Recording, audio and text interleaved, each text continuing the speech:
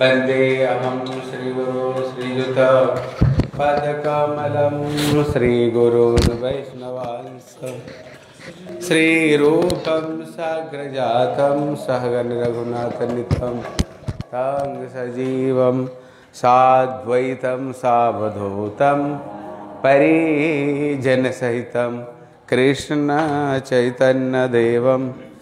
श्रीराधा कृष्णपादान् सहगणललिता श्रीविशाखानितांस ॐ ज्ञानतिमिरान्धस्य ज्ञानाञ्जनशलाकया चक्षुरुन्मिलितं येन। तस्मै श्रीगुरवे नमः। नमः गुरुदेवाय धीमते सममूर्तये। श्री श्रीमाता भक्ति श्री रूप सिद्धांति प्रभवे श्री महात्मने नामयं विष्णुपादाय राधिकाय प्रियात्मने। श्री श्रीमद् भक्ति वेदांत नारायणीति नामिने। श्री कृष्ण लीला कथन सुदक्ष औदार्य माधुर्य गुणैः युक्तं। वरं वरण्यं पुरुषं महान्तं। नारायणस्तं सजसा नमामि। नामयं विष्णुपादाय आचार्यसिंहरूपिणे श्री श्रीमद्भक्तिप्रज्ञान केशव इति नामिने अतिमर्तचरित्राय स्वाश्रितानञ्च बालिने जीवदुःखे सदात्राय ह्रीनाम प्रेमदायिने नामयं विष्णुपादाय कृष्णपृष्ठाय भूतले श्रीमते भक्तिसिद्धान्त सरस्वतीति नामिने। हरिभार्षभानविदेवी दैताय कृपाद्वै विज्ञान, दायिनी प्रभवे नमः। माधुर्यजलप्रमाढ श्रीरूपानुगभक्तिद श्रीगौरकरुणाशक्ति विग्रहाय नमस्तु ते नमस्ते गौरवाणी, श्रीमूर्तये दिनतारिणे, श्रीरूपानुगविरुधाभ, सिद्धान्तधन्तहारिणे। नम गौरकिशोराय साक्षाद्वैराग्यमूर्तये विप्रलम्भरसाम्बुधे पादाम्बुजाय ते नमः।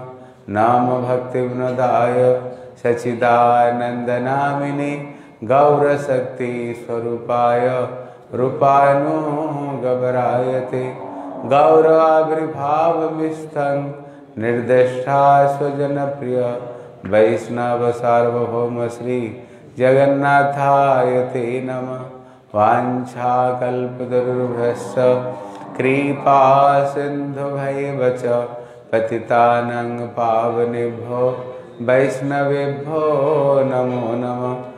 वृन्दाय तुलसीदेव्यै प्रियाय केशवस्य च कृष्णभक्तिप्रददेवी सत्यवतये नमो नमः।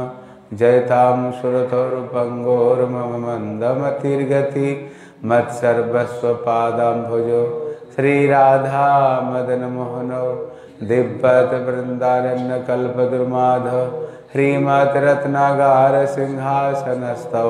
दिव्यतवृन्दारण्यकल्पद्रुमाधव ह्रीमद्रत्नागार सिंहासनस्थौ श्री श्रीराधा श्रीलगोविन्ददेवौ पृष्ठलिभिः सेवामानुस्मरामि ह्रीमान् रासरसारम्भि बंशिवाटतटस्थित कर्षणवेणुसुनिर्गोपी गोपीनाथ श्रियस्तु न वृन्दाय तुलसीदेव्यै प्रियाय केशवस्य च कृष्णभक्तिप्रददेवी सत्यवतये नमो नमः। श्रीकृष्णचैतन्य प्रभुनित्यानन्द हरि अद्वैतगदाधर श्रीवासादि, गौरभक्तवृन्द। हरे कृष्ण हरे कृष्ण कृष्ण कृष्ण, हरे हरे। हरे राम हरे राम। राम राम।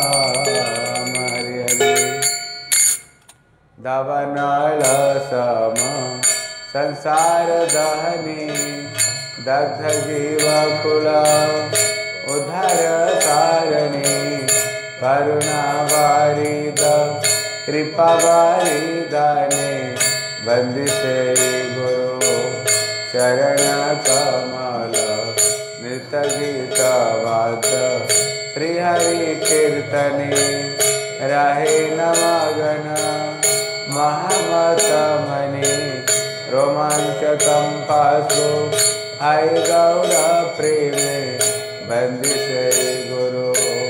चरणकमल सदा रथगिनि विग्रहसेवने रिङ्गरदिया मन्दिरमार्जने करेण नियुक्त अनुगतजने बन्दिसे गुरु चरणकमल सर्वसुसलिज पेयरसमये प्रसादान्न कृष्णे भक्त भक्तास्वादने निज तृप्तरये बन्दिसे गुरु चरणकमल श्रीराधामाधव नामरूपगुणे अनन्तमाधुर्य लीलास्वादने लुब्धचितजिने हन प्रतिक्षणे बन्दिसे गुरु चरणकमल व्रजयुगद्वन्द्व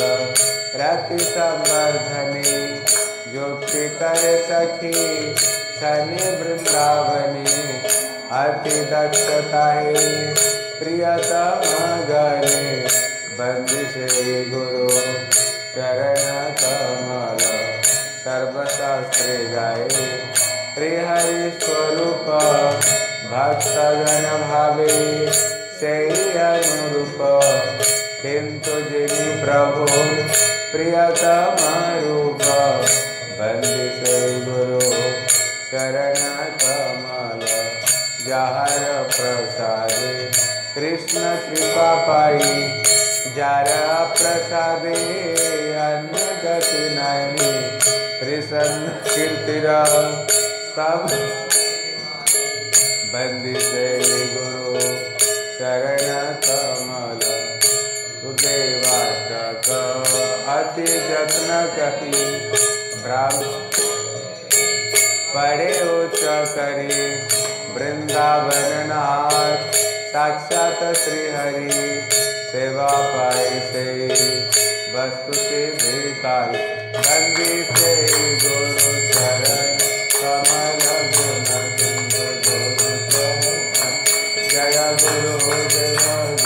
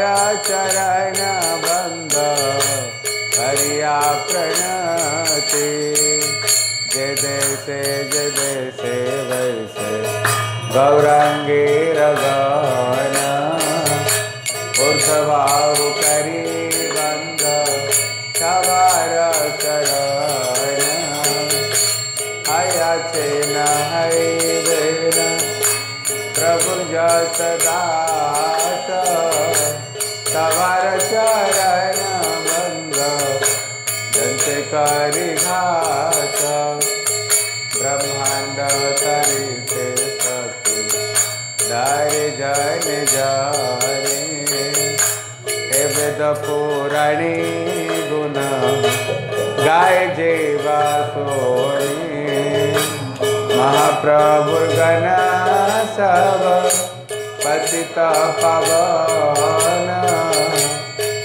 लोभ मोहि पापी लयनु शरण वंदना करिते तत शक्ति धारे।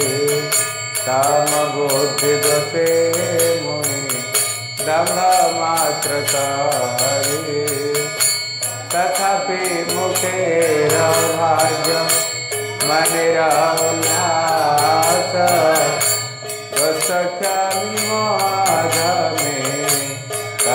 जदात सर्ववाञ्छसिद्धिराय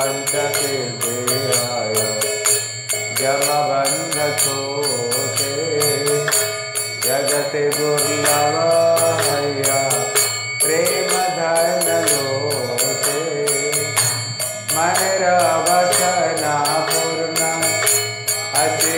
हाया देवकी नंदन दास। हे लोभेत जय वैष्णव ठाकुर, जय वैष्णव ठाकुर वैष्णव ठाकुर, जय वैष्णव ठाकुर, जय वैष्णव ठाकुर, जय वैष्णव ठाकुर। श्री कृष्ण चैतन्य।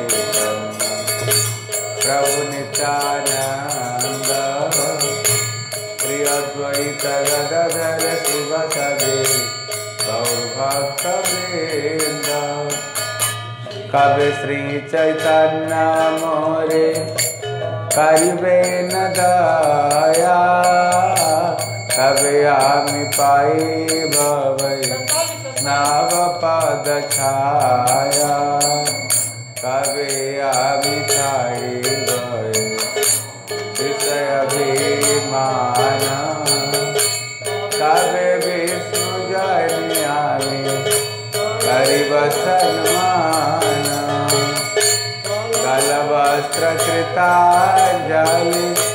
वैष्णवनी काटे दंत तृण करी दारा इव निष्कपटे कन्द्रिया जन एव दुःखग्राम संसारनरायत मागेव विश्राम दुनिया वैष्णव दुःख वैष्णव ठाकुर। आम्हाला गे कृष्ण आवे, दिवे ना प्रचोर वैष्णवेर आवे बन, कृष्ण दया मारा। कहन पामरा प्रति, आवे न सदया। दिन देर निवेदन वैष्णव चारी कृपा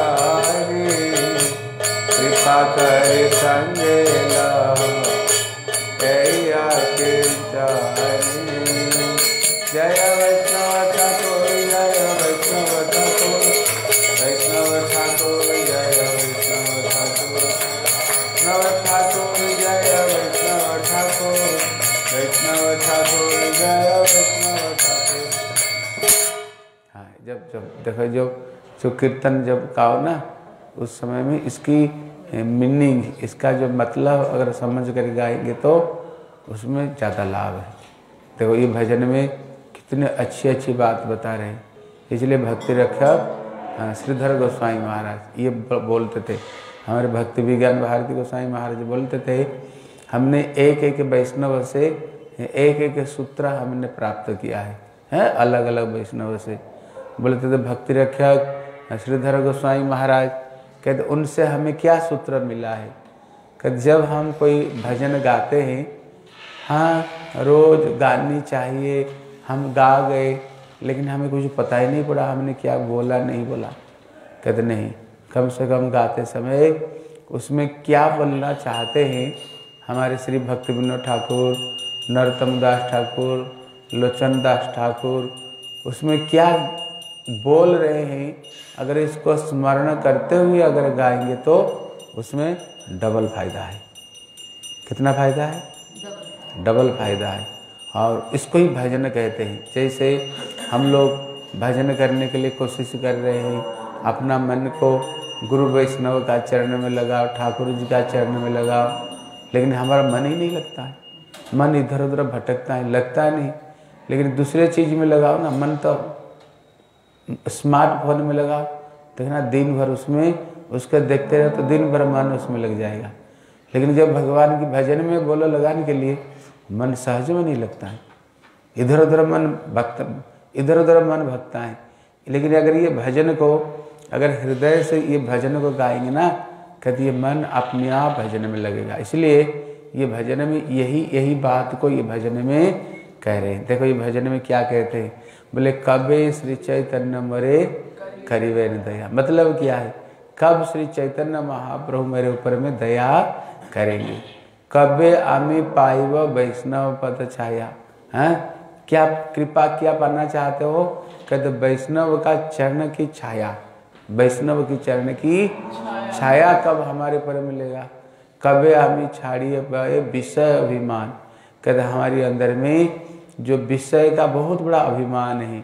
हम ये है, हम ये है, हम अमुक है, हम अमुक है, हैं? कहते कबे आमी छाड़ी भय विषय अभिमान कबे विष्णु जन आमी करीब सम्मान कब ऐसे दिन आएगा जब विष्णु जन मतलब वैष्णव को? कब ऐसे दिन आएगा वैष्णव का हम सम्मान वैष्णव का हम सम्मान करेंगे। कभी अब कभी विष्णु जन आमी करीब सम्मान गल वस्त्र कृतांजलि वैष्णव निकट। बोले, कैसे? कैसे हम लोग इसको ना, इसको गल वस्त्र कहते हैं, है? इसको गल वस्त्र कहते हैं। इसलिए आप लोग देखना, अगर गाँव में पहले कोई अगर गाँव में अपराध करता था, गाँव में कोई व्यक्ति अपराध करता था, उसको क्या बोलते थे? गले में गलबहनियाँ दे करके, दांत में त्रिका दबा करके सबसे माफ़ी मांगो। बोलते ना गाँव में, जब कोई गाँव में कोई अपराध करता था, बोले, सबसे माफ़ी मांगो। गल में गलबस्ता देख रहे, हांटू गाड़ करके, हैं? हांटू गाड़ करके, मुँह में त्रिणिका दबा करके सबसे माफ़ी मांगो। ये भजन में यही कह रहे हैं, कब ऐसे दिन आएगा जो कि वैष्णव का चरण में गल में जो गल बहनियाँ, हैं? इस गल वस्त्र दे करके दांत में त्रिणिका दबाते हुए वैष्णव को चरण में प्रार्थना करेंगे। बोले, क्या प्रार्थना करेंगे? बोले, जब हम भगवान को प्रार्थना करें, ठाकुर जी हमारे ऊपर कृपा कर ठाकुर जी नहीं सुनते हैं। क्योंकि भगवान किसकी बात सुनते हैं? किसका बात सुनता है? भगवान। शास्त्र हमारे शास्त्र में क्या बताया? बोले, सड़ंग शरणागति है जहार, तहार प्रार्थना सुने श्री नंद कुमार। भगवान किसकी प्रार्थना सुनते हैं? जिसके अंदर में छह शरणागति आ जाएगा। है, छह, जिसको अंदर में छह शरणागति आएगी ठाकुर जी उसकी ही बात को ठाकुर जी सुनते हैं। लेकिन हमारे अंदर भी कोई भी शरणागति नहीं। दीनता भी नहीं हमारे हृदय में आत्मनिवेदन भी नहीं है। भगवान हमें रक्षा करेंगे ये भी विश्वास नहीं है। भगवान हमें पालना करेंगे ये भी विश्वास नहीं। भक्ति के अनुकूल को ग्रहण करो और भक्ति के प्रतिकूल छोड़ो। कोई भी चीज़ हमारे अंदर में नहीं। तो ठाकुर जी हमारा प्रार्थना कैसे सुनेंगे? हाँ। इसलिए क्या करते हैं? इससे आसानी उपाय क्या है? कहते, वैष्णव रे आवेदन कृष्ण दया में। जब हम किसी वैष्णव की शरण में चले जाएँगे, जब वैष्णव हमारे हो करके ठाकुर जी को प्रार्थना करेंगे ठाकुर जी ये जीव को ऊपर में ठाकुर जी कृपा करो। फिर तो क्या होगा? भगवान अपने आप उसको ऊपर में ठाकुर जी कृपा कर देते हैं। ठाकुर जी अपने आप कृपा कर देते हैं उसको ऊपर में। इसलिए वैष्णव आवेदन कृष्ण दयामय एह न पामर प्रति हवे न सदय। जब वैष्णव हमारी होकर के ठाकुर को प्रार्थना करेंगे, ठाकुर जी को सुनना ही पड़ेगा। क्यों? वो भगवान की एकांत भक्त है, हैं? एकांत भक्त, इसलिए कहते विनोद निवेदन वैष्णव चरण। इसलिए जो भक्तिमोहन ठाकुर कह रहे हैं, जो विनोद निवेदन वैष्णव चरण, वैष्णव का चरण निवेदन करके क्या है। कृपा करी संग लह यही अकिंचन हे वैष्णव ठाकुर, आप कृपा करके अपना साथ में हमें ले चलो। कहाँ ले चलो? बोले, वृंदावन ले चलो। हमें हमें कहाँ ले चलो? वृंदावन ले चलो। हमें अपना चरण में, हमें स्थान दे दो अपना चरण में। देखो, कितनी अच्छी अच्छी बात। अगर इसलिए भक्ति रखक श्रीधर गोस्वामी महाराज बोलते थे, और मेरे गुरुदेव बोलते थे कि जो शरणागति है ना, अगर एक लाइन अगर हम ध्यान से गा ले एक लाइन अगर अपना जीवन में उतार दे तो हमें भगवत प्राप्ति हो जाएगा। इतने अच्छी अच्छी इसका अंदर में इतनी अच्छी अच्छी बात है। हैं? इसलिए जब ये भजन को गाए, उसी समय में स्मरण करते हुए, इसलिए गानी चाहिए। इसलिए गौर किशोर दास बाबा जी महाराज कहते थे, ये जार फाट लो, तार फाट लो। बुझ ऐसे कि गौर किशोर दास बाबा जी महाराज नरोत्तम दास ठाकुर का एक कीर्तन है। वो बड़े महाप्रभु का विरह में, भक्तों का विरह में रो रहे हैं। भले वैष्णव धीरे धीरे जब नरोत्तम दास ठाकुर घर छोड़ करके आ रहे थे, वो धीरे धीरे सुन रहे थे कैसे श्री नरोत्तम, ये श्री सनातन गोस्वामी चले गए, रूप गोस्वामी चले गए एक एक करके सब संत लोग, वैष्णव लोग जा रहे हैं और उसी समय सुनते ही रो रो करके आ रहे थे, हैं? वो रो रो करके आ रहे थे। बोले, इनके विरह में मैं अपना सर को फोड़ दूँगा। इनका विरह में आग में प्रवेश कर जाऊँगा। ये शरीर में नहीं रखूँगा वैष्णव का विरह में। लेकिन उसको कभी कभी गा लेते हैं। इसलिए वो बोलते जिसका फाट लो, उसको फाट लो। बोले, जो लोग, जिसका हृदय फट गया, उसको तो फट, फटा। लेकिन हम लोग ने किया कि उसको गाना चाहिए गा कर चले गए। लेकिन हमारे अंदर में कोई अनुभूति नहीं हुई। इसलिए नियम है जब ये भजन को गाए जब ये भजन को गाए थोड़ी सी स्मरण करते हुए गाए तो हाँ ज़्यादा लाभ है। उसमें ज़्यादा लाभ है। ठीक है? हाँ। इसलिए हाँ, एक व्यक्ति एक एक भजन गाएँगे। हाँ गाओ जय जय हरि नाम। गाओ तो। गा सकते हो? हमारे ये बड़ा पंडित। तुम गा सकते हो? हाँ बोलो जय जय हरि नाम।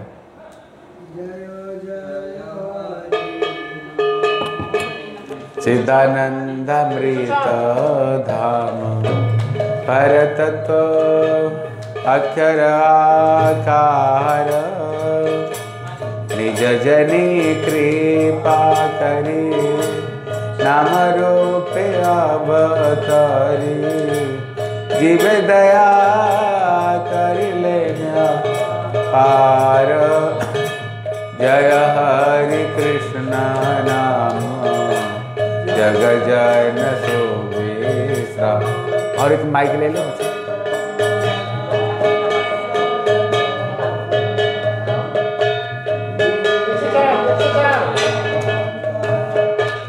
जेना मेरा समाधर कर गाय बरिया बदन। ओए कृष्ण नामाचर तुम सर्वशक्ति धर। जीवर कल्याण भीतर न भव सिंधु उद्धरित नाही बंधु आसिया च जीव Lord,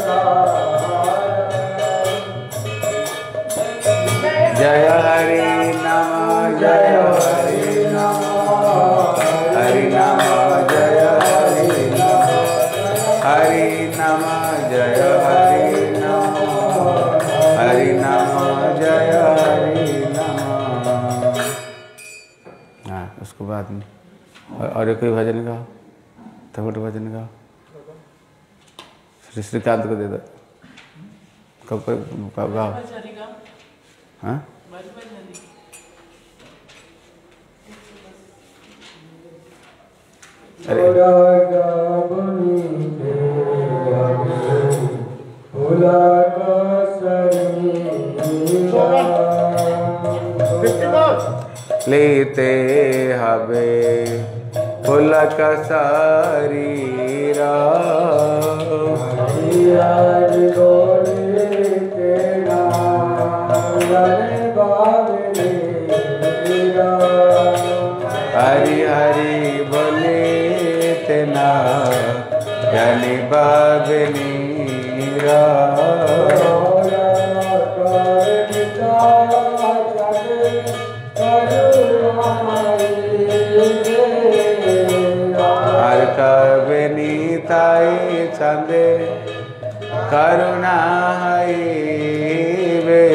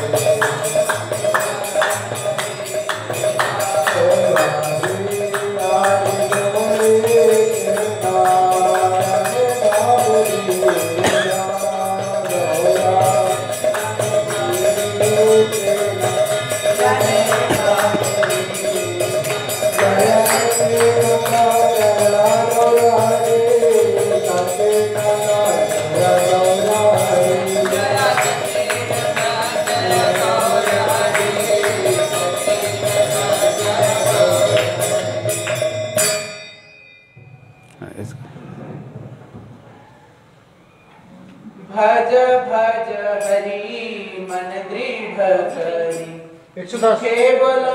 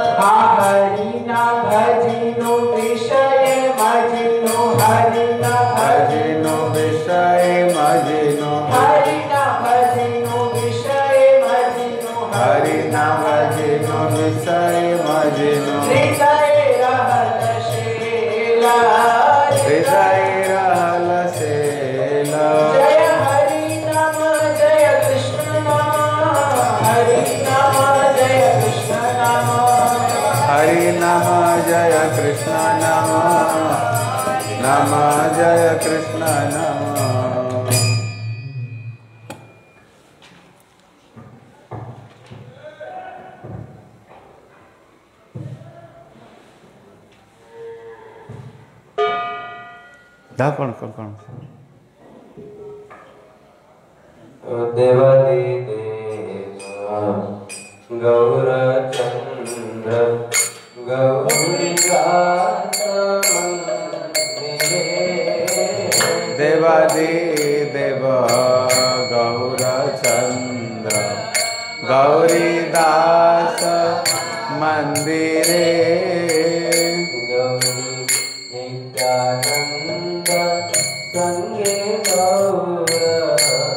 सच्चिदानन्द सङ्गे गौर। अम्बिका अम्बिका ते बिहरे।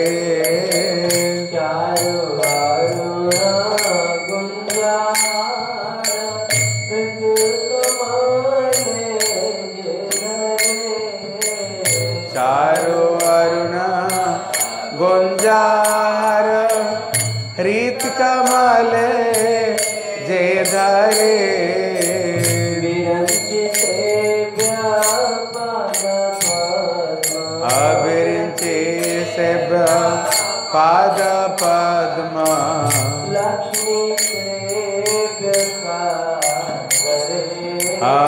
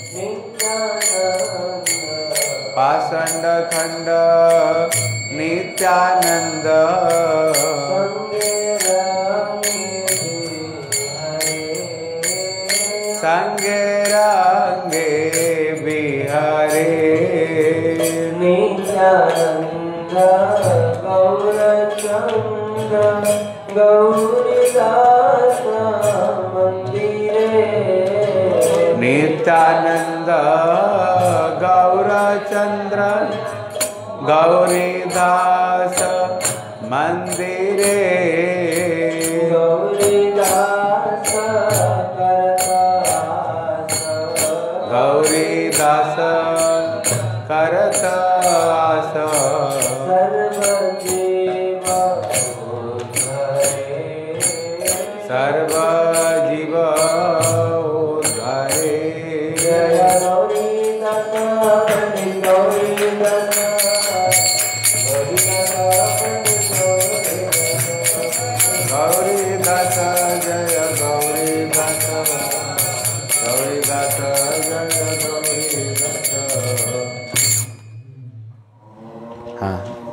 ज- ज- क- क- सिकंदर कृष्णदेव भगवंत दो सौ सोलह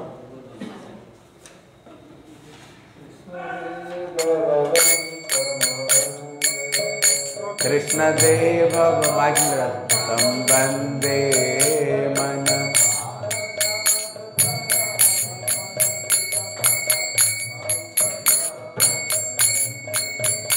मनमानस मधुकर मर्पय निज पद पङ्कज मकरन्दे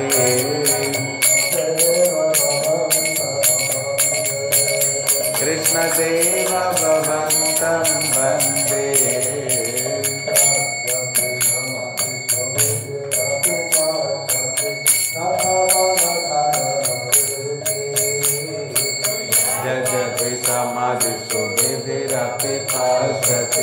न तव न खाद्रमरीचे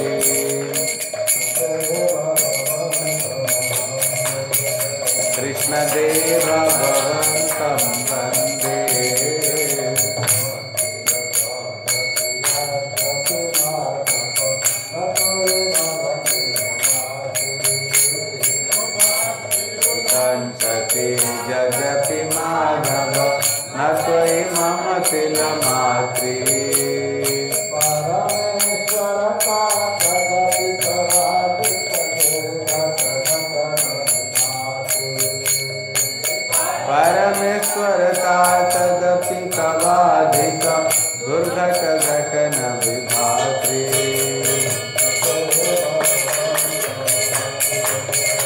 कृष्णदेव भवन्तं वंदे।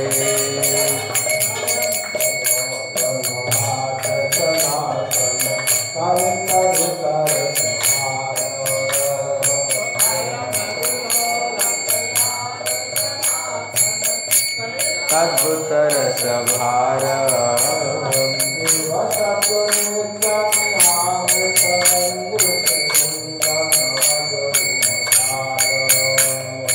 निंदिनी नीतम्रियामृतनिन्दिनि मधुरी मधुरिमसार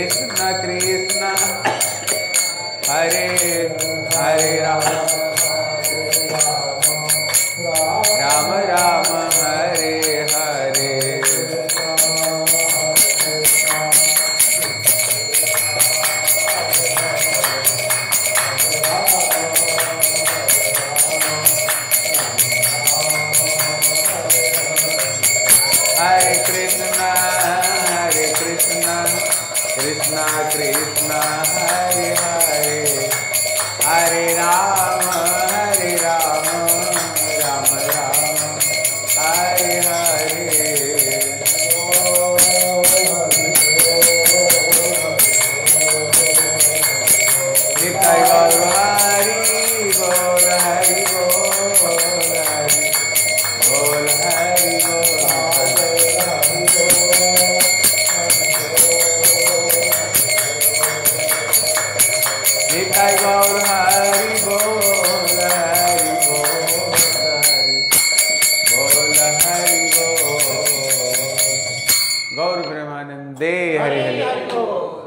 आप सब वाले कर और सब बच्चे सब सो रहे ना क्या? कि कोई नहीं। हाँ सब घर घर में गल चलिए हैं। हैं? हैं? नहीं नहीं और, और जो पिलावान थे से ऊपर से और दो तीन थे ना? हाँ। हाँ ठीक।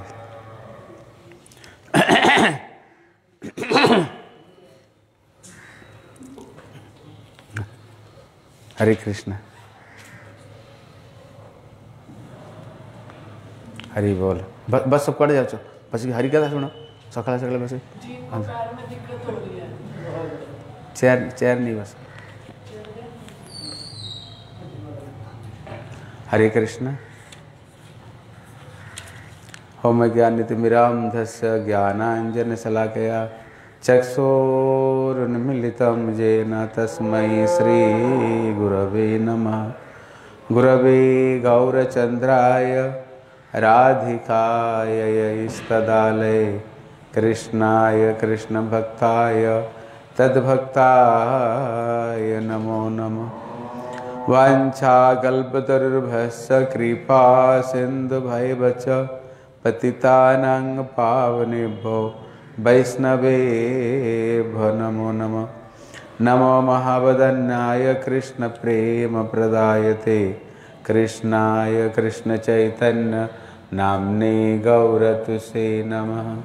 हे कृष्णकरुणासिन्धो दीनबन्धो जगत्पते। गोपेशः गोपिकान्त श्रीराधाकान्त नमस्तु ते। तप्तकाञ्चन गौराङ्गी राधे वृन्दावनेश्वरी वृषभानुसुते देवी प्रणमामि हरिप्रिये। वृन्दाय तुलसीदेव्यै प्रियाय केशवस्य च कृष्णभक्तिप्रददेवी सत्यवतै नमो नमः। श्री कृष्ण चैतन्य प्रभु नित्यानंद श्री अद्वैत गदाधर श्रीवासादि गौर भक्त वृंद बल हरे कृष्ण हरे कृष्ण कृष्ण कृष्ण, हरे हरे हरे राम हरे राम राम राम। बल हरे कृष्ण हरे कृष्ण कृष्ण कृष्ण, हरे हरे हरे राम हरे राम राम राम, हरे हरे। सर्वप्रथम मेरे गुरुपाद पद्म नितलीला प्रविष्णु विष्णु शत श्री श्री श्रीमद भक्ति श्री रूप, सिद्धांति गोस्वामी महाराज जी के चरण कमल में अनंत कोटि साष्टांग दंडवत प्रणाम करता हूँ। तत्पश्चात मेरे शिक्षा गुरुपाद पद्म, नितलीला प्रविष्णु विष्णु शत श्री श्री श्रीमद भक्ति वेदांत श्रील नारायण गोस्वामी महाराज जी के चरणों सरोज में श्रद्धा, पुष्पांजलि अर्पण करता हूँ। उपस्थित समस्त वैष्णव वैष्णवी सभी को मैं यथायोग्य प्रणाम करता हूँ। हरे कृष्ण। हाँ। गतगल्य हम लोग श्री श्रीमद् भगवत गीता का हाँ, पहला श्लोक को हम लोगों ने श्रवण किया था। धर्म क्षेत्रे कुरुक्षेत्रे समवेत जुजुत्सवा मानवका पांडवाश्चैव किम कुर्बन संजय। इसलिए इस श्लोक के ऊपर में हम लोग ने बहुत बहुत कुछ बात हम लोग ने श्रवण किया था। धर्म क्षेत्र क्यों नाम पड़ा? कुरुक्षेत्र क्यों नाम पड़ा? आप बोला थोड़ी सी बोल सकते हो कुरुक्षेत्र इसलिए पड़ा था क्योंकि कुरु राजा ने वहाँ पर खेती करी धर्म क्षेत्र इसलिए था क्योंकि वो धर्म धर्म की उसको नगरी का धर्म क्षेत्र कहा जाता था वहाँ पे परशुराम जी ने इक्कीस बार क्षत्रियों का संहार किया था यज्ञ किया था और भी हमने पाँच वहाँ पे कुंड बने हुए हैं, इसलिए कहते ये सब बहुत सारे कारण से उस स्थान का नाम धर्म क्षेत्र है, हैं? और क्षेत्र नाम क्यों दिया? कारण क्या है? हाँ इसलिए क्षेत्र क्यों बताया?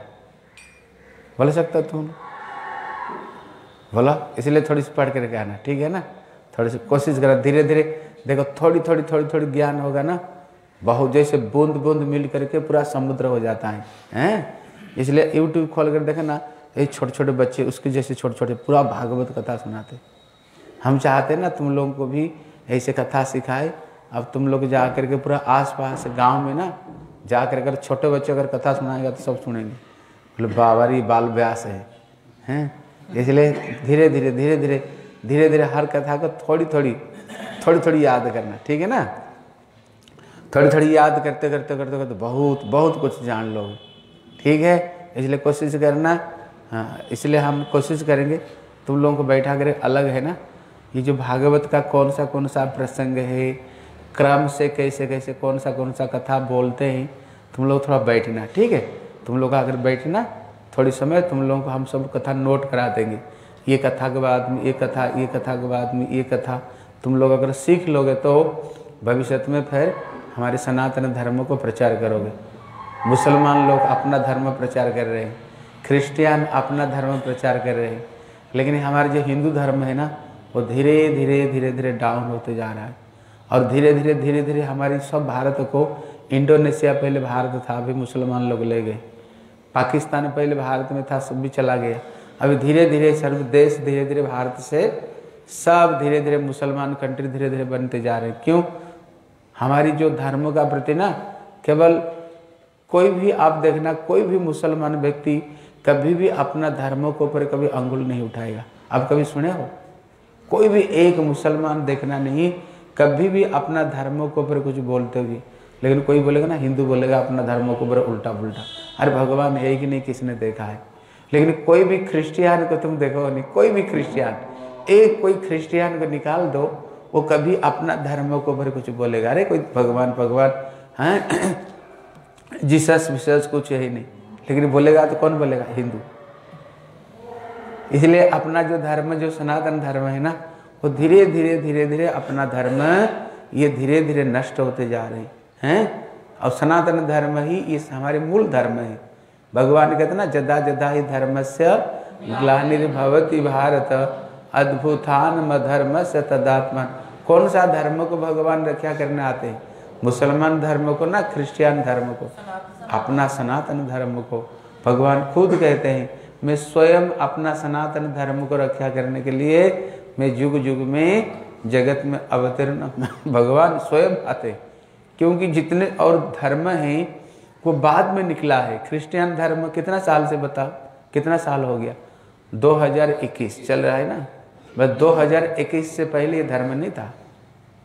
मुसलमान धर्म में भी देखोगे वो हज़ार डेढ़ हज़ार साल हज़ार पहले आया उसको पहले सो कोई नहीं थे। लेकिन पहले था तो हमारा धर्म था। हमारे इसलिए उसका नाम सनातन है। सनातन मतलब क्या? आदि से जो चला है।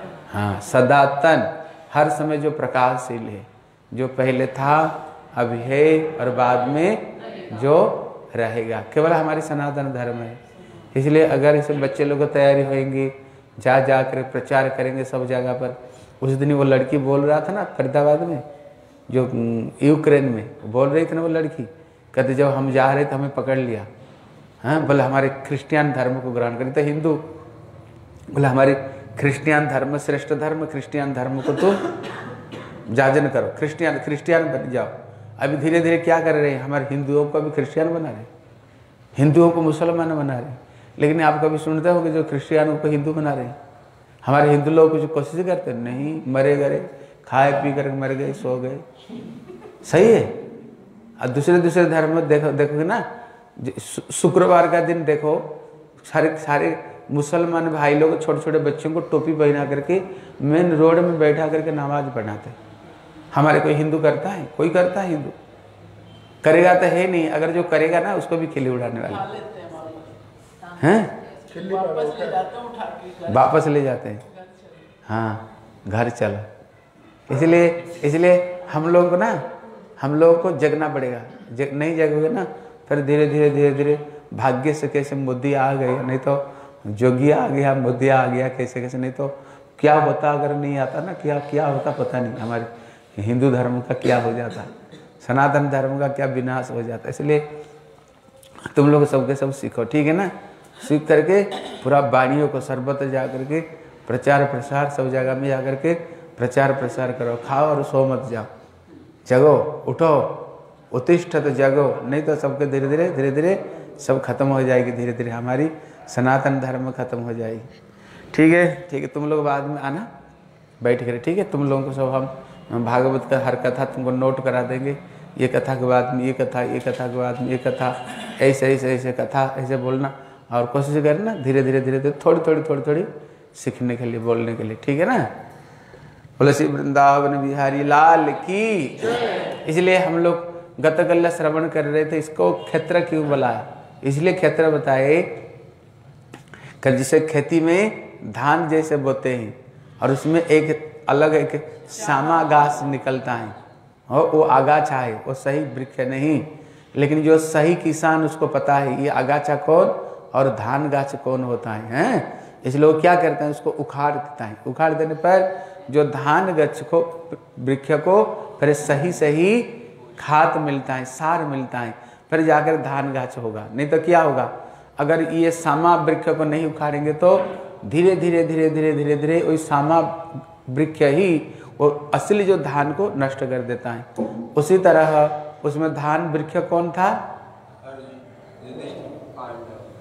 ये पांडव ये पांडव लोग, और उसमें श्याम श्यामा वृक्ष कौन था? दुर्योधन आदि जितने अधर्मी। और उसमें किसान कौन है? स्वयं से कृष्ण किसान है। देखो, कितनी अच्छी अच्छी बात उसमें बताया। अगर तुम लोग इतना सीख गया ना, कहीं जाकर प्रवचन दोगे। धर्म क्षेत्र कुरुक्षेत्र इसी श्लोक को मेरे गुरुदेव, मेरे जो गुरुदेव है, केवल एक श्लोक को सुनकर घर छोड़ दिया था। केवल यही श्लोक। हाँ?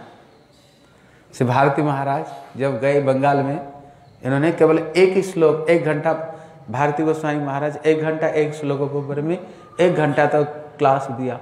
इतनी सुंदर उन्होंने हरि कथा बोले, एक, केवल एक श्लोक के ऊपर में जिसको सुन करके मेरे गुरुदेव ने घर छोड़ दिया। घर छोड़ कर संत बन गए। हैं? अगर तुम लोग केवल एक श्लोक सही सही सुन लिया ना सही सही व्याख्या करके सुना दिया, बस, एक क्लास पूरा। एक घंटा, एक क्लास है। धर्म क्षेत्र नाम क्यों पड़ा कुरुक्षेत्र नाम क्यों पड़ा है? उसमें जो एक एक शब्द है धर्म क्षेत्र कुरुक्षेत्र समवेत जुजुस्वा मामा कहा पांडव शैव कीव अक्रूबर संजय। इसलिए उसमें शंका, उन्होंने शंका क्यों किया? किम अकुर्बन उन लोग ने किया किया था? क्यों शंका किया? बोलो, तुम बोलो, क्यों उन्होंने शंका किया था? हाँ बोलो।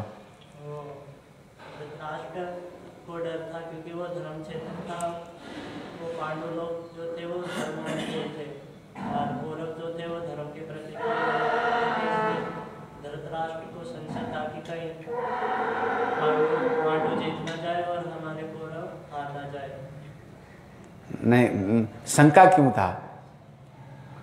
उन्होंने किम अक्रूबन संजय, कहते वहाँ पर उन्होंने युद्ध करने के लिए वहाँ पर गए हैं, लेकिन वो प्रश्न कर रहे हैं, वहाँ पहुँच करके मेरे पुत्र, पांडु पुत्र, उन लोगों ने क्या किया था? शंका क्यों हुआ उनके मन में?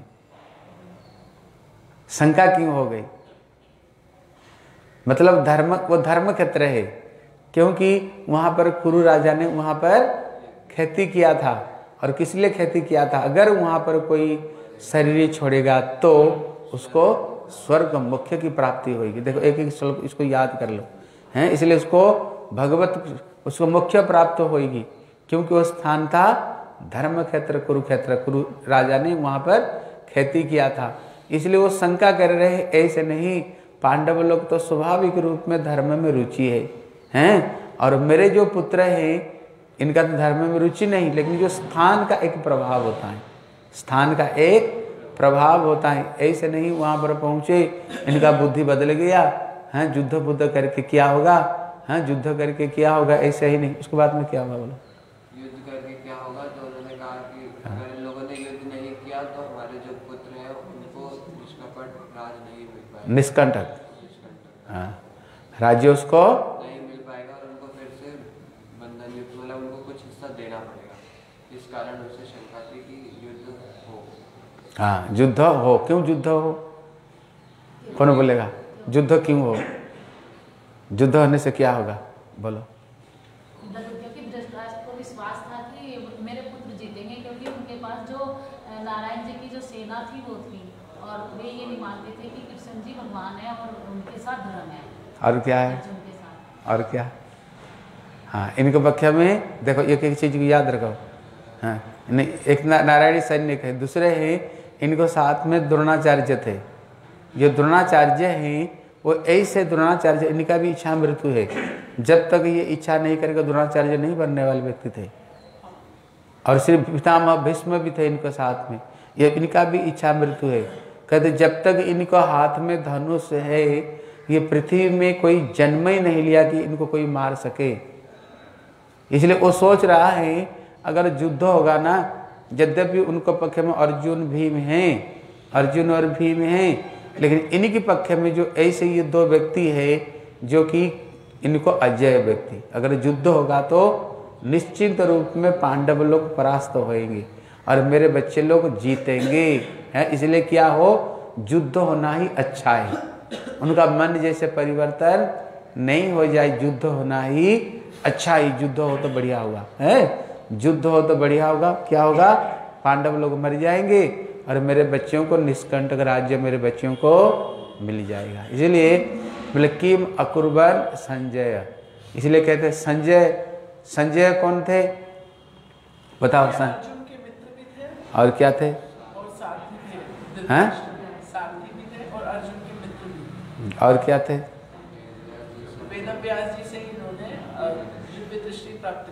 और क्या थे? हाँ देखो, इसको ना एक एक चीज़ को देखो, एक श्लोक को, एक श्लोक जो पढ़ो, इतने बढ़िया करके पढ़ो एक श्लोक को, हैं? एक श्लोक इतने बढ़िया करके पढ़ो, जब एक श्लोक व्याख्या करो ना, गीता के ऊपर अगर कोई बोले गीता पर बोलने के लिए, एक श्लोक को उठाया, बस, पहला श्लोक की व्याख्या किया करोगे। पूरा पूरा श्लोक को व्याख्या करोगे, ठीक है ना? इसलिए कल कोशिश करना, एक श्लोक को ही अच्छे तरह से अच्छे तरह से एक श्लोक, ठीक है, तुम लोग पढ़े लिखे हो। इसलिए एक श्लोक को ऊपर में बोलने के लिए, अगर एक श्लोक अगर तीन चार दिन में भी कर दिया, बहुत बड़ी चीज़ है। बहुत बड़ी चीज़, अगर तीन चार दिन में एक श्लोक को अगर अच्छे तरह सीख गए तो। कम से कम एक ही श्लोक तो बोल पाओगे, गीता का एक श्लोक में क्या बताया? ठीक है, कल कोशिश करना, एक श्लोक। ठीक है बच्चा? हाँ तुम कोशिश करना। धीरे धीरे धीरे धीरे आस्ते आस्ते आस्ते आस्ते। इसलिए इसलिए मैं आज इसलिए इसको डिस्कशन कर रहा हूँ, जैसे तुम लोगों के दिमाग में ये चीज़ पूरा के पूरा बैठ जाए, हैं? पूरा पूरा दिमाग में ये चीज़ को बैठ जाए। इसलिए आज हम लोग सुनेंगे, हैं, दूसरा श्लोक सुने। तुम लोग भी कोशिश करना, जितना सीख सकते हो। तुम लोग को ऊपर कोई प्रेशर नहीं दूँगा। नहीं, फिर तो तुम क्लास में नहीं आओगे। देखो, आज दो भक्त नहीं आए। इसलिए नहीं आए। महाराज हमें पूछ नहीं दे, ये श्लोकों के ऊपर में। इसलिए नहीं आए। इसलिए दोनों को बुला लेना। और दो आते थे ना? और एक सखी बोलना तुमको पूछेंगे नहीं, इसलिए तुम लोगों को हम पूछेंगे नहीं। इसलिए तुम लोग, अगर कोशिश करोगे सीखने के लिए तो अच्छी बात है। देखो, सीखोगे ना, फिर दूसरों को बोल सकते हो, हैं? दूसरों को बोल सकते हो। तुम देखना, जो क्रिश्चियन जो माताएँ, मैं देखा है क्रिश्चियन में पुरुष लोगों को इतने प्रचार करते हुए नहीं देखा। मैंने देखा क्रिश्चियन जो प्रचार कर रहे हैं सब स्त्रियाँ प्रचार करती हैं। वो घर घर में चली जाती है, माताएँ सब है। और जा जाकर हिंदुओं को सब मुसलमान क्रिश्चियन बना रहे हैं। सब माताएँ देखना उनका अलग पोशाक पहनते हैं। हाँ अलग पोशाक पहनते हैं और घर घर में जाकर घुस जाते हैं और घुस करके सबका बुद्धि को परिवर्तन कर देते हैं। इसलिए अगर तुम लोग सीखोगे ना, प्रचार कर सकते हो। घर घर में माताएँ माताएँ मिल जाएगी, हैं। इसलिए घर घर में जा करके हमारी सनातन धर्म को सबको प्रेरणा दो। बच्चों को भक्ति में लाओ, भक्ति कराओ, क्योंकि नहीं तो बच्चे सब गलत मार्ग में जाएँगे। देखो, जैसे छोटे छोटे बच्चे हैं, देखो, तिलक, कंठी लगाए ये कभी, ये बच्चे कभी गलत रास्ता में कभी नहीं जाएँगे, कभी नहीं जाएँगे। सिगरेट नहीं फूकेंगे, शराब नहीं पिएँगे कभी भी गंदे रास्ता में बच्चे कभी नहीं जाएँगे, क्योंकि इनको ऊपर बचपन में संस्कार बढ़ रहा है। नहीं तो दूसरे बच्चे अबाल होकर घूम रहे हैं, नाम से दो तीन बच्चे, एक गंजे की भंगेड़ी भंगेड़ी को सब इधर घूम रहे हैं सब के सब। ब्रह्म कुमारी जो है गुरुदेव वहाँ पे तो सब लेडीज़ ही प्रचार हाँ सब लेडीज़ ही। प्रचार करती सब लेडीज़ ही वहाँ पर प्रचार करते इसलिए इसलिए हम चाहते हैं हैं, आप लोग अच्छे तरह सीखो। उन्हें जो माता है जो नहीं आई ना बोले महाराज याद कर रहे थे तुमको। क्यों नहीं आई? बोले तुमको महाराज पूछेंगे नहीं कुछ। इसलिए आओ कथा सुना। और बलराम प्रभु का जो पत्नी उनको भी याद करना। वो डर कुमार भी नहीं आ रही। हाँ महाराज को बोल तुम बोल देना जे देखो उनको भी फ़ोन करो ना। ठीक है ना सबको फ़ोन करना। बोले महाराज पूछ रहे थे क्यों नहीं आ रहे हो कथा में? कथा में आप कम से कम सुनोगे ना दिमाग में कुछ ना कुछ ना बैठेगा ना। मत बोला करो लेकिन कम से कम तो सुनो कथा में सुनो कम से कम ठीक है? हाँ आज हम लोग ये जो गीता का जो दूसरी श्लोक है हाँ दूसरा श्लोक सुनेंगे। मैंने दूस, दूसरे अध्याय का श्लोक ले लिया था हम कोशिश करेंगे क्रम से चलने के लिए ठीक है? पहले पहले से ही क्रम से धीरे धीरे धीरे धीरे क्रम से चलने के लिए। हैं, कोशिश करेंगे। दूसरा श्लोक है बोले संजय उवाच दृष्टा तो पांडवा निकम बीढ़ दुर्ज धनस्तदा। आचार्य राजा बचन अब्रवीत। कहते ये श्लोक में कह रहे हैं ये संजय उबाच ये श्लोक को संजय कह रहे हैं किसको? धृतराष्ट्र को कह रहे हैं। बोले, क्या कह रहे? बोले, दृष्टवा तो पांडवा निकम बीढ़ दुर्जधनस्तदा संजय ने क्या कहा? बोले, राजा दुर्जधनस्तदा राजा दुर्जधन को तब बीढ़म बीह रचना पूर्वक स्थित। पांडवा निकम पांडवों की सेना को दृष्टवा दृष्टवातु देख करके आचार्यम उपसंगम, द्रोणाचार्य को पास में उपस्थित होकर के वचनम यह वचन अवृत मतलब कहा। बोले क्या कहा? अभी इसके अंदर में श्री विश्वनाथ चक्रम ठाकुर इसके अंदर में रहस्य बता रहे हैं। एक एक शब्द का रहस्य बता रहे हैं। वो अंदर अंदर की भावना क्या है इन लोगों का? हैं? कहते संजय ने क्या किया? राजा दुर्योधन तथा राजा दुर्योधन ने क्या किया? उन्होंने राजा दुर्योधन ने देखा इनके अंदर में हाँ, बड़ा सुंदर व्यूह रचना किया। कौन? कहते श्री धृष्टदुम्न कहते, इनका सेनापति कौन था? धृष्टदुम्न पांडव का सेनापति था धृष्टदुम्न और दुर्योधन का सेनापति कौन था? कहते पितामह भीष्म थे। अभी यहाँ पर तरह तरह का बात को यहाँ पर कह रहे हैं। अभी जब संजय ये सब बात को बता रहा था, इधर क्या हुआ? ये जो धृतराष्ट्र ना, ये थोड़ा डर गया। धृतराष्ट्र क्यों? दुर्योधन, द्रोणाचार्य के पास में दुर्योधन गया। द्रो- जी के पास में गया, अभी ये धृतराष्ट्र सोच रहा है, भैया, ऐसे नहीं हो, क्योंकि धर्म क्षेत्र कुरुक्षेत्र ये धर्म क्षेत्र है, और कुरुक्षेत्र धर्म स्थान है, और दो नदी कोई है दो नदी को बीच में ये स्थान मतलब पवित्र स्थान कुरुक्षेत्र को पवित्र स्थान मान गया। अभी धृतराष्ट्र सोच रहा है, ऐसे नहीं हो पांडव का मन तो स्वाभाविक रूप में परिवर्तन हो जाएगा। क्यों? धार्मिक ही है। ऐसे नहीं, मेरे पुत्र का बुद्धि बदल तो नहीं जाएगा। दुर्योधन यद्यपि दुष्ट है, इसलिए कहते जो दुर्योधन, ये दुष्ट है। क्योंकि कहते दुर्योधन जब जन्म ग्रहण किया, उस समय बड़ा अपशकुन दिखाई पड़ा। बहुत अपशकुन दिखाई पड़ा। इसलिए इसको देख करके सब लोगों ने कहा, देखो जो दुर्योधन, ये महादुष्ट बनेगा। और इसी से ही इनका वंश ध्वंस होने वाले। उस समय में ज्योतिष ने बात बताया। इसलिए कहते श्री हाँ इसलिए कहते श्री विदुर ने कहते, ये परामर्श दिया था, ये बच्चे को त्याग दे दो। ये बच्चे को तुम त्याग दे दो। अगर बच्चे को त्याग दे दोगे, तुम्हारे वंश बच जाएगा। अगर त्याग नहीं दोगे ना, इसी बच्चे से ही तुम्हारे वंश, तुम्हारे ध्वंस होने वाले है। लेकिन एक पुत्र मोह होता है। पुत्र मोह होता है ना भले ही बेटा जितने दुष्ट हो, क्यों नहीं हो जाए? लेकिन पिता माता के हृदय में, नहीं, मेरे लाला है, मेरे बच्चे है, हैं? ये मोह छोड़ना बड़ा कठिन है। लेकिन उन्होंने, ये मोह को उन्होंने त्याग नहीं दे पाए। अब बाद में क्या हुआ? वही हुआ ना बाद में? बाद में वही हुआ, उसने जुआ खेल करके, कपट जुआ खेल करके पांडव का सब कुछ अपहरण कर लिया। फिर उन्होंने द्रौपदी का वस्त्र हरण कराया। फिर उनको जतु गृह में मारने के लिए कोशिश किया। बचपन में भीम को लड्डू, बीस का लड्डू खिला करके उसको पानी में डाल दिया, उसको फेंक दिया। और लास्ट में क्या हुआ? ऐसे युद्ध हुई, ऐसे खतरनाक युद्ध हुई लास्ट में। और भीमसेन ने गदा से पूरा दुर्योधन का जंघा तोड़ दिया। लेकिन जब जब जंघा तोड़ दिया, देखो दुष्ट कितने दुष्ट होते हैं। दुष्ट कभी दुष्टता को नहीं छोड़ता है। इतने में अस्वस्थ में आया, बोले, मालिक, बताओ तुम्हारी क्या इच्छा है? देखो मरने वाले, बोले, देखो, आश्चर्य की बात है, हम सौ के सौ भाई मारा गए, लेकिन पांडवों का एक बाल भी मौका नहीं हुआ। अगर पांडव में कोई एक का अगर मृत्यु में देख लेता ना, चैन में मर जाता। देखो, मरने वाला, वो कहता है, दूसरे का मृत्यु देख कर मरेगा। लेकिन दुर्योधन को एक वरदान मिला था। बोले, दुर्योधन कब मरेगा, वो तभी मरेगा हर्ष और शोक। जब ये दो अवस्था एक साथ में आएगा, तभी मरेगा, नहीं तो भी मरेगा नहीं। हर्ष और शोक, दोनों अवस्था एकत्रित हो, तभी तो ये मरेगा, नहीं तो मरेगा नहीं। अभी अस्वस्थ माने क्या किया? राता रात गया और पांडवों को तो कृष्ण लेकर के चले गए थे और वहाँ पर द्रौपदी को साथ में उनके पाँच बेटे सोए थे, हैं? भीम का बेटा भीम जैसे अर्जुन का बेटा अर्जुन जैसे सहदेव का बेटा सहदेव जैसे उसने सोचा यही रात को पता नहीं चला पंच पांडव और पाँच को गला काट लिया।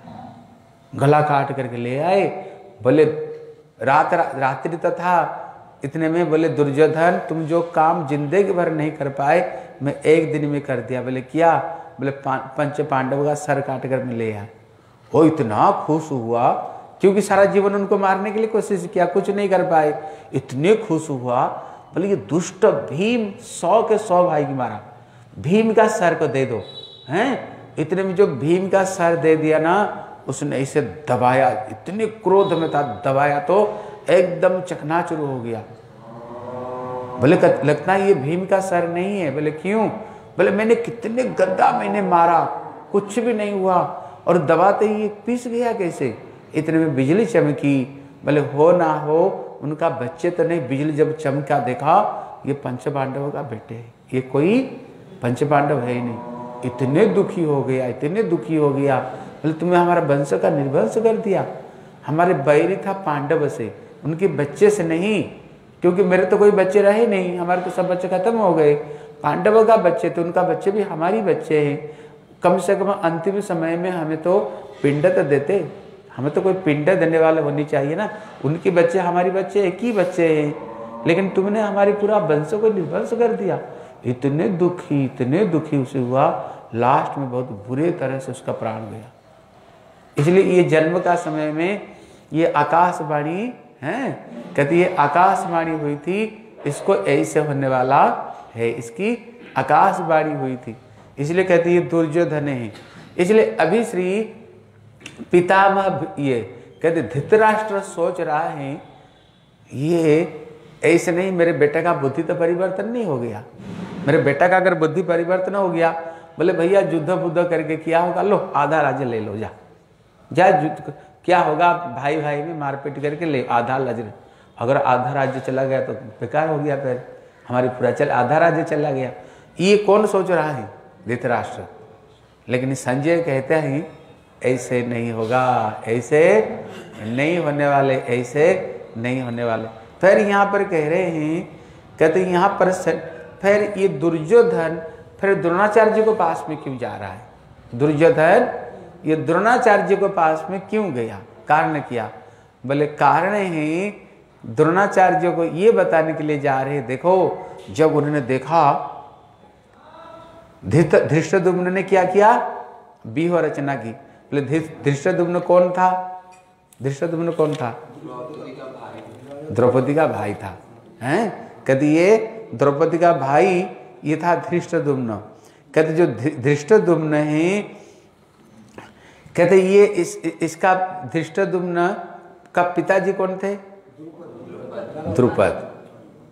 द्रुपद कौन था? अश्वत्थामा के पिताजी द्रौपदी का भाई हाँ ये ये द्रोणाचार्य का मित्र थे, द्रोणाचार्य का। कहते द्रोणाचार्य का जो पिता है, द्रोणाचार्य को जो पिता और जो द्रोणाचार्य का पिता और धृष्टदुम्न का जो पिता, द्रुपद, ये दोनों में मित्रता थी। ये दोनों में मित्र था इसलिए इनके अंदर मित्रता होने का नाते उनका जो दोनों बच्चे थे, बाद में इनके अंदर में भी मित्रता हो गया था। और मित्रता में दोनों मित्रता थे, लेकिन क्या हुआ?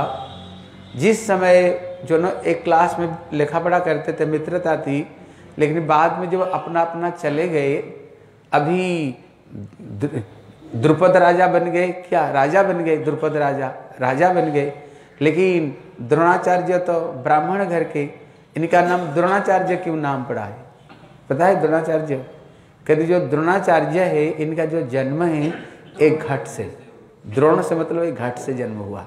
एक घाट से इनकी जन्म हुई थी। हाँ इसलिए इनका नाम द्रोणाचार्य है। देखो, इसको बहुत सारे ज्ञान मिलता है इससे। इसलिए इसलिए द्रोणाचार्य ये थे। लेकिन ये तो ब्राह्मण, पहले ब्राह्मण लोग तो गरीब ही होते थे ना। इनका वृत्ति था, भिक्षा मांगना। लेकिन ये बड़े बलवान थे। द्रोणाचार्य अस्त्र शस्त्र अस्त्र शस्त्र में बड़े ये दक्ष थे, हैं? और समस्त शास्त्र भी ये जानते थे। समस्त शास्त्र जानते थे। लेकिन एक दिन द्रोणाचार्य जी का बेटा का नाम था क्या? अस्वस्थमा एक दिन जब छोटा, उनका छोटा बच्चा अस्वस्थ हुआ था, एक दिन पिताजी को पास में बोले, पिताजी, मैं दूध पीऊँगा। पिताजी, मेरे को दूध ला दो। बोले, ब्राह्मण पहले भिक्षा करके जीविका निर्वाह करते थे। इनको दूध कहाँ मिलेगा? तब उन्होंने श्री गए द्रुपद राजा को बोले, देख, मेरे बच्चा दूध पीने के लिए मचल रहा है। एक गैया दे दोगे? एक गैया। लेकिन कि जो द्रुपद महाराज, हैं? बोले, मित्रता बराबर में होता है। मित्रता बराबर में होता है। कहाँ मैं राजा धीराजा, और तू कहाँ भिखारी, हैं? ब्राह्मण, और मेरे साथ में तू मित्रता कर तो भूल जा मित्रता को। अरे, बचपन में बहुत कुछ होता है। इसलिए बचपन का याद करवा रहे हो, हमें बचपन का याद करा रहे हो। हैं? भूल जाए सबके सब। इसलिए द्रोणाचार्य को बड़ा अपमान बोध हुआ। इसलिए द्रोणाचार्य जी उसको छोड़ करके राज्य छोड़ दिया। छोड़ करके उसने कहाँ पर आ गया? इन्होंने आ गया, इंद्रप्रस्थ में आ गया। और इनकी बुद्धिमत्ता देख करके, इनकी शस्त्र ज्ञान देख करके पितामह भीष्म ने ये पांडवों को और कुरु को इनका गुरु बना दिया। जब गुरु बना दिया, महाभारत देखे होंगे ना? जब उनको पूरा विद्या शिक्षा दे दिया, नियम है गुरु दक्षिणा देने के लिए। गुरु दक्षिणा की बारी आई। लेकिन द्रोणाचार्य का हृदय जल रहा था। क्यों? द्रुपद महाराज ने जो अपमान किया, हैं? हृदय जल रहा था। बोले, अगर मेरे को गुरु दक्षिणा देना चाहते हो, द्रुपद को परास्त करके मेरे पास में ले आओ।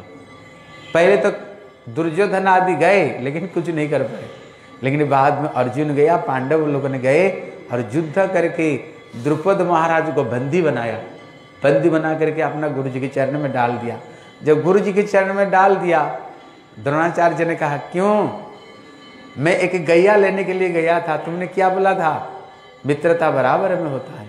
मित्रता बराबर में होता है। तू कहाँ गरीब ब्राह्मण? अब मैं राजा कहाँ? अभी बताओ, तू मेरे शिष्य के भी बराबर नहीं हो। तू मेरे, अगर किसको परास्त कर दो ना, क्या होता है? उसका राज्य जो परास्त करता है, उसका राज्य उसका हो जाता है। उसका हो जाता है उसका राज्य। इसलिए तुम अभी मेरे बराबर के साथ मित्रता होता है ना? इसलिए अभी तू मेरा बराबर है, तू तो मेरे शिष्य का भी बराबर नहीं हो। इसलिए उन्होंने बोले, तुम्हारी राज्य आधा, तुम्हारा और राज्य हमारी आधा। मैं फिर तुमको दया करके आधा राज्य दे रहा हूँ। ले। फिर उससे एक गैया को लेकर के फिर उन्होंने कृपी को पास में लेकर गए, हैं? लेकिन ये चीज़ द्रुपद को बड़ा आघात लगा। इतने बड़े अपमान मेरे साथ में। इसलिए उसने यज्ञ किया। उसने यज्ञ किया किसको? द्रोणाचार्य को मारने के लिए। और यज्ञ से दो संतान हुए। कौन कौन हुए? धृष्टदुम्न और द्रौपदी। जब धृष्टदुम्न जन्म हुआ ना, आकाशवाणी हुई। बोले, ये जो धृष्टदुम्न ये द्रोणाचार्य का, ये बध का कारण यही बनेगा। आकाशवाणी हुई। यही बध का कारण यही बनेगा। इसलिए जो आकाशवाणी हुई द्रोणाचार्य को ये पता है, द्रोणाचार्य को ये पता है, ये धृष्ट दुम्न मेरे को मारने वाला आकाशवाणी हुई और यज्ञ से प्रकट हुआ। लेकिन होने पर भी द्रोणाचार्य ये बड़े दयालु थे। द्रोणाचार्य ब्राह्मण है ना, ब्राह्मण का हृदय तो दया होता है ब्राह्मण लोग को, इसलिए उसका हृदय बड़े दयालु, बड़े कृपालु थे। इसलिए उनको पता ये मेरे को मारेगा, तब भी उन्होंने उनको धनुर्विद्या शिक्षा दिया। द्रोणाचार्य को पता ही मेरे को मारेगा, तब भी उसने उसको धनुर्विद्या, अस्त्र, शस्त्र उन्होंने सब कुछ उसको उन्होंने शिक्षा प्रदान की, सब कुछ उन्होंने शिक्षा प्रदान की। कैसे व्यूह रचना करोगे, कैसे युद्ध करोगे? हाँ देखो, यहाँ पर जब युद्ध होने जा रहा है, ये दुर्योधन किसको पास में गया? द्रोणाचार्य के पास में। द्रोणाचार्य के पास में जाकर क्या कर रहे? बोले, गुरुदेव, देखो, ये धृष्ट ने कैसे चक्र व्यूह को रचना किया, देखो, व्यूह को कैसे रचना किया? सैन्य सामंत को सजाया, क्योंकि वहाँ पर तो इतने सैनिक, सात अक्षौणी सैनिक हाँ लाख लाख सैनिक, इतने सुंदर। इसलिए द्रोणाचार्य को क्या समझाना चाह रहे बोले, आप बेकूफ हो। द्रोणाचार्य को गुरु जी को कह रहे आप बेकूफ हो? ये अंदर की बात क्यों? आपको पता था ये आपको मारने, यही मारेगा। तब भी आप उसको धनुर्विद्या शिक्षा दिया। और देखो, आपका विरोध में अभी खड़े हुए और देखो उनको कैसे व्यूह रचना किया, कितना सुंदर सन्या सामंत को सजाया। इसलिए इन्होंने जा करके श्री द्रोणाचार्य की ये बात को द्रोणाचार्य को बता रहा है। लेकिन इसको देख करके, लेकिन जो धृतराष्ट्र को मन में ऐसे ऐसे हो रहा है, अरे, हो ना हो मेरे बेटा, हैं? मेरे बेटा आधा राज्य पांडव को नहीं दे दे, फिर तो ज़िंदगी भर के लिए कंटक रूप में रह जाएँगे। मेरे बच्चों को निष्कंटक राज्य, मेरे बच्चों को नहीं मिलेगा।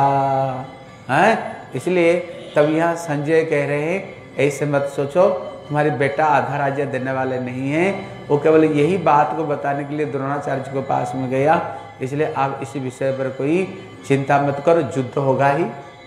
युद्ध होगा ही। लेकिन तुम जो सोच रहे हो, युद्ध होने पर, हैं, क्या तो मेरे बच्चे और द्रोणाचार्य और भीष्म उनको मार डालेंगे? ये नहीं होगा। बोले, क्यों नहीं होगा? बोले, पांडवों के पक्ष में कृष्ण, पांडवों के पक्ष में कौन है? भगवान स्वयं। और जिसको पक्ष में ठाकुर जी हो, उनको कोई, है, जिसका राखे साइया, मार सके ना कोई, बाल ना बांका कर सके जो जगह बैर हुई। इसलिए भले ही सारा दुनिया किसके विरोध क्यों नहीं हो जाए, लेकिन जिसको ठाकुर जी रक्षा करते हैं, उनको कुछ होने वाले नहीं। और जब ये महाभारत युद्ध हो रहा था ना इतने में कुंती पंच पांडवों को लेकर के आए। कुंती, हैं? कुंती पंच पांडवों को लाए, बोले, कृष्ण, मैं अपना पाँच बेटे को तेरे को दे रहा हूँ। हैं? तेरे शरण में। इसलिए तुम उनको रक्षा करना। कृष्ण स्वयं बोले बोले, बुआ जी, भले ही विश्व ब्रह्मांड प्रलय हो जाए, लेकिन तुमने ये पांडवों को मेरे शरण में दे दिया, लेकिन इनके बाल भी बांका होने वाला नहीं। इसलिए कृष्ण ने बात प्रतिज्ञा की है। और ये कृष्ण शरण में थे हाँ, कृष्ण शरण में थे। इसलिए लास्ट में जब युद्ध समाप्त भी हो गया पंच पांडवों को कृष्ण लेकर चले गए। इतने में धृष्ट दुम्न आए।